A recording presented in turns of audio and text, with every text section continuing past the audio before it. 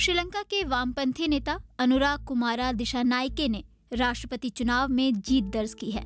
55 साल के Dissanayake national peoples power यानी एनपीपी गठबंधन के प्रमुख हैं।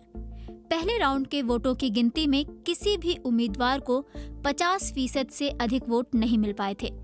इस राउंड में अनुरा दिशा नायके को बयालीस दशमलव तीन एक प्रतिशत और उनके प्रतिद्वंदी रहे सजित प्रेमदासा को बत्तीस दशमलव सात छह फ़ीसद ही वोट मिले थे।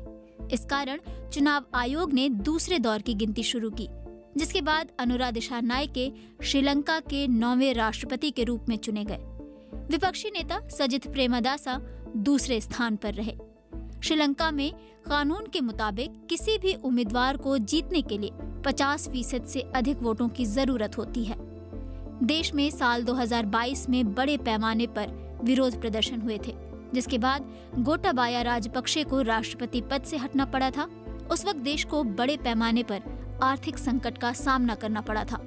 उसके बाद देश में राष्ट्रपति पद के लिए बीते शनिवार पहली बार चुनाव हुए।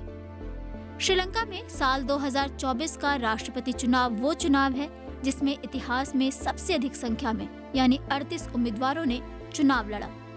अनुराग कुमारा दिशा नायके ने मतदाताओं से भ्रष्टाचार विरोधी कठोर कदम उठाने और अच्छे प्रशासन का वादा किया है। उनका ये संदेश उन मतदाताओं को लुभाने में कामयाब रहा, जो संकट के बाद से ही व्यवस्थित बदलाव की मांग कर रहे हैं। जीत के बाद अपने एक संदेश में दिशा नायके ने कहा कि आखिरकार जो सपना हमने सालों से देखा, अब वो सच हो रहा है।